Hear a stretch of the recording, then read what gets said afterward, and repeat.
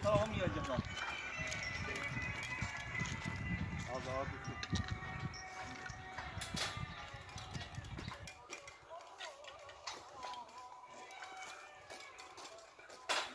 İndi az.